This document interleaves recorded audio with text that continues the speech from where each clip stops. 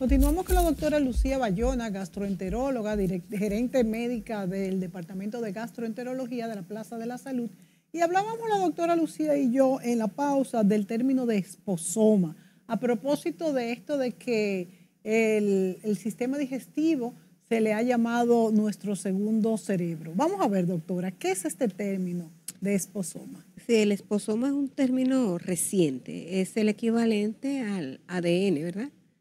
El esposoma en lo que habla es, o lo que quiere simbolizar, es todo lo que embarga la interacción que tiene el ser humano en, su entorno y lo puede afectar, desde, que, desde su nacimiento hasta que se muere. Esto puede afectar mi ADN en vida real. ¿Qué quiere decir?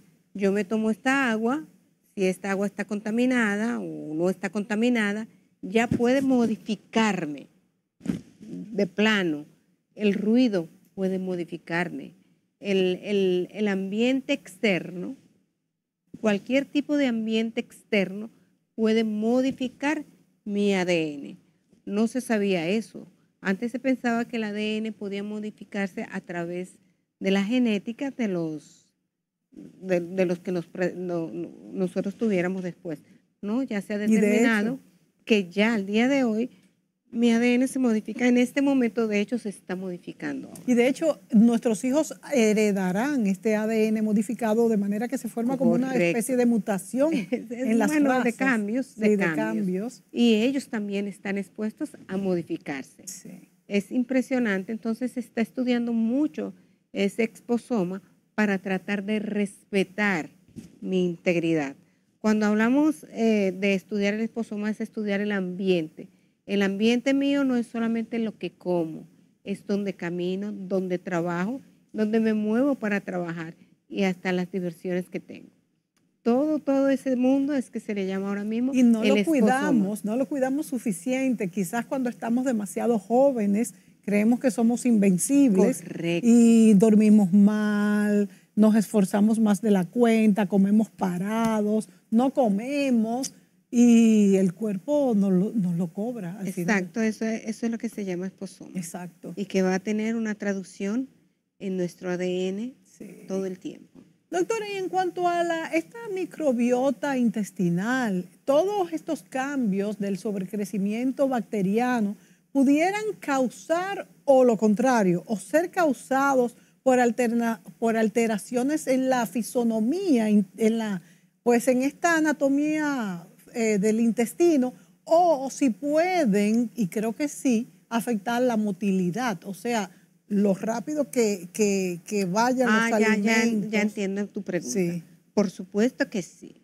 Por supuesto que sí. De hecho, el, eh, son de los dos lados, de los dos lados. Los pacientes que tienen diabetes mellitus, ¿verdad?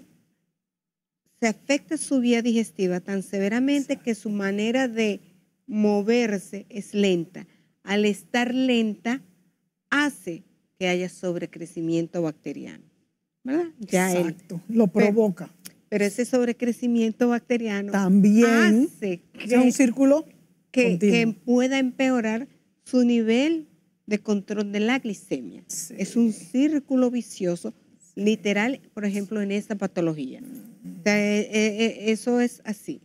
O sea, si usted no controla esa vía digestiva, no va a controlar adecuadamente esa glicemia paradójicamente. Entonces es más complejo. La situación es mucho más compleja. mucho más y en los casos cuando hay enfermedades autoinmunes que podríamos decir que también están de moda, porque la verdad es que casi todo el mundo tiene una afección de una u otra parte que depende del sistema autoinmune. Sí, por eso se hace tanto énfasis en una alimentación saludable. Cuando tenemos una alimentación saludable, si es verdad que tengo una enfermedad autoinmune, puedo controlarla un poco mejor. Igualmente que la diabetes y la hipertensión, yo puedo controlarla si controlo esta parte. No es que tenga la llave 100%, pero, por lo menos voy a sumar eh, en positivo, no en negativo. Pero ayuda. En ese sentido. Y el, el, el, el SIBO puede provocar aumento del peristaltismo, o sea que la motilidad aumente y eso haga que las personas tengan diarrea. Ah, sí. Muchos tienen diarrea, otros tienen constipación, pero lo que es lo habitual, contrario. siga, constipación o estreñimiento, sí. Que lo habitual es la diarrea, pero no es que sea imprescindible para un SIBO, Sí. no es imprescindible, pero sí hay un trastorno real de la, La motilidad. motilidad. Piensa en esa bacteria que está en el intestino delgado haciendo diabluras y el pobre intestino tratando de ver cómo, cómo se defiende. Sí. Eh, ese es el ¿Tiene tema. alguna relación con la celiaquez? Que es que- Celiaquía, no. No, la Celiaquía. celiaquía es, un trastorno en el que no se produce una enzima que absorbe el gluten. Y al no absorber el gluten causa un síndrome muy parecido al, sobrecrecimiento bacteriano, que es distensión, diarrea, cólico, puede haber pérdida de peso, anemia. Estos test que dicen si e- eres- tienes intolerancia al gluten, a la sacarosa, ¿y cuál es el otro? Eh, al gluten, a la sacarosa y hay otro, hay otro test. Eh, ¿Se le hace generalmente a una persona que tenga SIBO? No, no necesariamente, no, no, no. no. No necesariamente. Normalmente uno no hace eso. Pero generalmente... Porque gene- eh, cuando hay SIBO, no hay un historial a largo plazo, sino es algo muy puntual. Sí. Y estas otras condiciones son de, largo, de larga data, De o sea, de data. mucho tiempo. sí. Entonces, hay, cuando uno hace una investigación científica a un paciente, tiene que tomar en cuenta todo esto, desde cuando empezaron, si ha pasado otras veces, si hay alguien en la familia, porque todo esto tiene mucho que ver. ¿Es contagioso el SIBO y el IMO y el... No para nada, es mi organismo. Acuérdate que lo hablamos, un esposoma. Sí. Es esta reacción que yo tuve ante una ante- mía, particular. O sea, yo puedo comer lo mismo que tú y yo tenerlo y tú no. Ujú. O sea, eso es o habernos contaminado de algún proceso viral, uno desarrolla y otro no. Porque es una Pero eso acuérdense que viene, cuerpo. viene lo que hablábamos de, vuelvo y caigo al mismo término del esposoma, que, que es el acúmulo de todas esas cosas que me han pasado y he vivido, lo que, se lo que son el día, lo que soy yo el día de hoy. ¿Y hay Y por lo tanto, mi organismo va a reaccionar en relación a todo eso. ¿Hay algunas bacterias específicas que producen estos sobrecrecimientos? No, no, No, no. no, es el no. cuerpo Es el cuerpo. Es el sí. cuerpo No, mismo. es el cuerpo mismo. Y son bacterias que tenemos en nuestro organismo. Todo, es, y eso es lo que te digo, es- Sí. yo las tengo, todas Sí. las debemos tener en, porción, en proporciones equitativas para hacernos funcionar bien. Pero cuando empiezan a desbalancearse es que viene el sobrecrecimiento de las que no son lo ideal de tenerlas en un control bajo. O sea que realmente cuando tenemos los síntomas, aunque saliese negativo el test, pues tenemos el- la patología, vamos a decir. Es posible, muy posible que sí, que tengamos y hay que manejarla.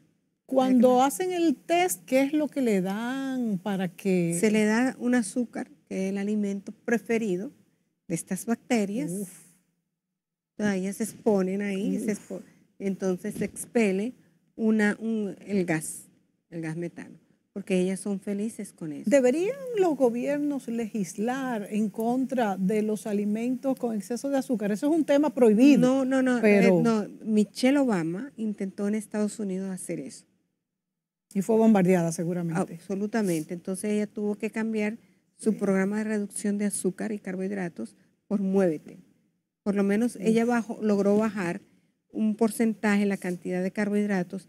Haciendo que- ejercicio. Y, que, se- y no, de carbohidratos. Y que se ofreciera una, una, un almuerzo más saludable, que tuviera... Dios mío, miren, Pero no pudieron, es imposible, porque realmente la industria alimentaria eh, es bastante poderosa. señores, miren hasta dónde influye y estamos dominadas por estas industrias que simplemente ofrecen alimentos dañinos porque ya está comprobado que son alimentos dañinos. El azúcar es un veneno y muchos carbohidratos muy procesados también lo son. Aunque usted no le haga daño porque quizás su cuerpo va a reaccionar luego y va a verse afectado por esta mala alimentación. Volvemos en un momento. you.